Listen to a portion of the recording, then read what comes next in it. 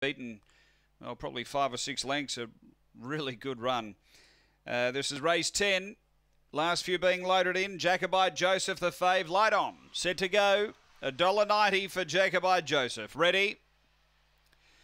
Racing, speed from the inside, slip away Bolt. Jacobite Joseph moves to second, three quarters away. Ace gone wild, three out. Then came Babs Jacket. Next, Saucy Sav, and one more page back at the tail. Jacobite Joseph moving up, slip away Bolt kicks back to hold the lead though. Ace gone wild, running on up to the turn. Slip away Bolt the leader. They scrambled in behind it. Saucy Sav making some ground along with Babs Jacket, but too good. Slip away Bolt beats Babs Jacket. Third, Saucy Savin, a photo with Jacobite Joseph, and then one more page. And Ace Gone Wild uh, back toward the tail. Time here, it's around 23.70 after race number 10.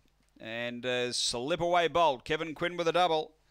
Able to drive, have the lead. He was seriously challenged by Jacobite Joseph, the short price fave off the back, but uh, was able to boot through and do too well. Uh, second going to two Babs Jacket. She made some ground out wide for Captain Abbott, and third to 10 and uh, that is Saucy Sav for Catherine Brooks. Numbers are 1, 2, 10, 5 runs fourth after